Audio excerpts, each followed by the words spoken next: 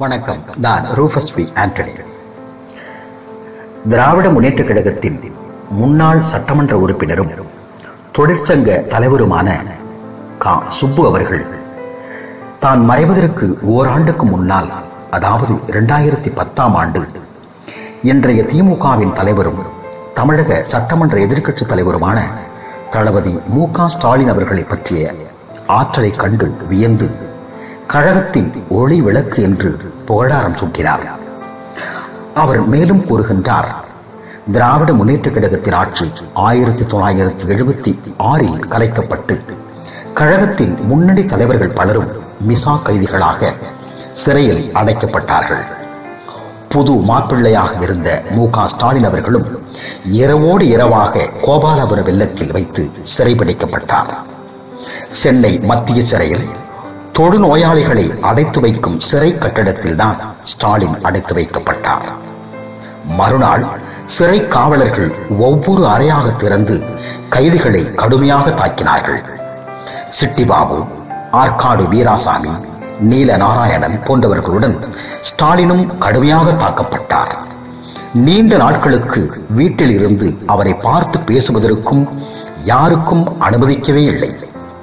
சிறைகளிலிருந்து வெளியே வந்த பின்பு இளைஞர் அமைப்புகளை தொடங்கி அவற்றில் ஈடுபாடு கொண்டு ஸ்டாலின் உழைத்து வந்தார் அந்நிலையில்தான் கழகத்தில் ஓர் இளைஞர் அடியை உருவாக்க வேண்டிய தேவை குறித்து டாக்டர் கலைஞரிடம் எடுத்துரைத்தேன். அதனை ஏற்றுக்கொண்ட கலைஞர் பின்னர் பருதி இளம்பழுதி உள்ளிட்டோர் விரும்பியது போல் ஸ்டாலினை அதன் தலைவராக்க ஒப்புக்கொள்ளவே இல்லை. பின்னர் நடைபெற்ற மாநில நிர்வாகிகள் மாவட்ட செயலாளர்கள் தனி கூட்டத்திலும் கலைஞர் தம்முடைய நிலையிலேயே உறுதியாக இருந்து வந்தார். அப்போது ஸ்டாலினை ஏன் இளைஞரணியின் தலைவராக்க வேண்டும் என்று நான் பேசினேன். மிசா கைதியாக ஸ்டாலின் சிறைபிடிக்கப்பட்ட போது அதனை தடுத்து நிறுத்தாத கலைஞரால் இயலவில்லை.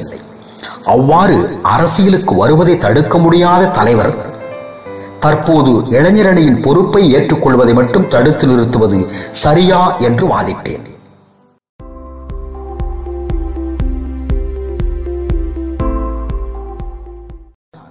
காஷ்மீரத்தைச் சேர்ந்த ஷேக் அப்துல்லா அவர்கள் தனக்கு பின்னர் தன் மகனே கட்சி பொறுப்பையும் ஆட்சி பொறுப்பையும் ஏற்க வேண்டும் என்பதற்காக லண்டனில் மருத்துவராக தொழில் புரிந்து வந்த தன் மகன் ஃபரூக் அப்துல்லாவை அழைத்து வந்து பொறுப்பு ஏற்க வைத்தார்.